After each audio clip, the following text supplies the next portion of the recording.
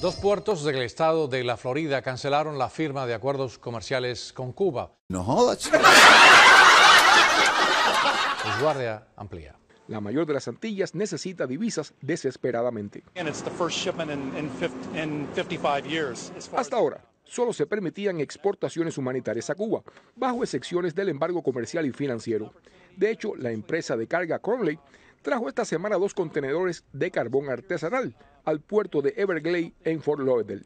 El gobernante cubano este miércoles, durante la clausura de la quinta cumbre de la Comunidad de Estados Latinoamericanos y Caribeños, manifestó su interés en establecer acuerdos comerciales con la nueva administración estadounidense.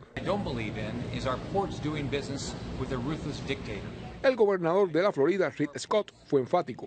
Yo no creo que nuestros puertos deban hacer negocios con un despiadado dictador y amenazó con recortar los fondos a los puertos del Estado que tengan relaciones comerciales con Cuba. Al carajo albañiles que se acabó la mezcla.